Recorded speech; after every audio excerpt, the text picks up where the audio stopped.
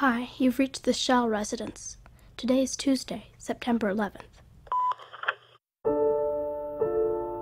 My dad said the way I saw the world was a gift, that I was different than everyone else. A great game we'd play was Reconnaissance Expedition. He told me to bring back something from every decade in the 20th century.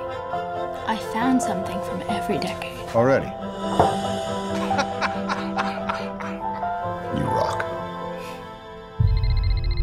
Listen to me. I'm, I'm gonna be home in about 20 minutes. So you listen to me. We broke a window to let in some air. Now I'm gonna be okay. the building and there was smoke everywhere. They're trying to save themselves. Where are you? Uh, I'm on the 106th floor. An American Airlines plane was hijacked. Thomas, you listen to me and you come home.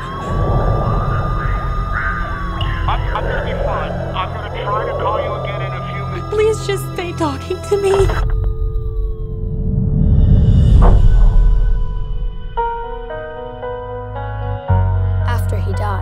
I found this key in my dad's closet. He must have wanted me to find something. The clues, of course. What was it Dad wanted me to find? Nothing made sense. It's never gonna make sense because it doesn't.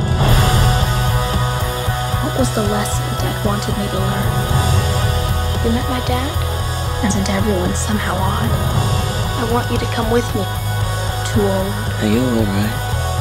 too young, too lonely, Sorry, I don't know anything about your father. or too afraid.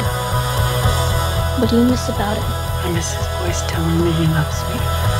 Dad told me I really love your mother. You're such a good girl.